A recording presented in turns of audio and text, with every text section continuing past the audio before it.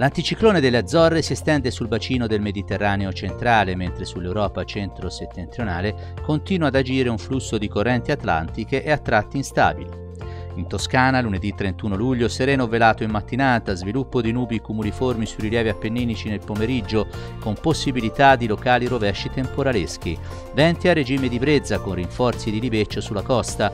Mari mossi a nord dell'Elba, con moto ondoso in attenuazione, poco mossi a sud. Temperature in lieve aumento le massime. Sul territorio provinciale sereno poco nuvoloso, localmente velato. A Lucca e sulla Piana temperatura minima 17, massima 32 gradi. A Castelnuovo Garfagnane zone montane minima 16, massima 31. A Viareggio sul litorale minima 21, massima 28 gradi. Martedì 1 agosto poco nuvoloso per velature e locali addensamenti.